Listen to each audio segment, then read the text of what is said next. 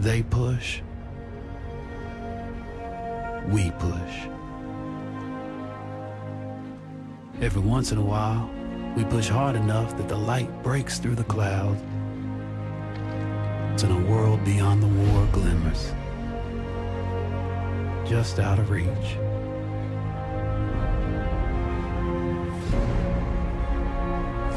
The war is the world, and the world is the war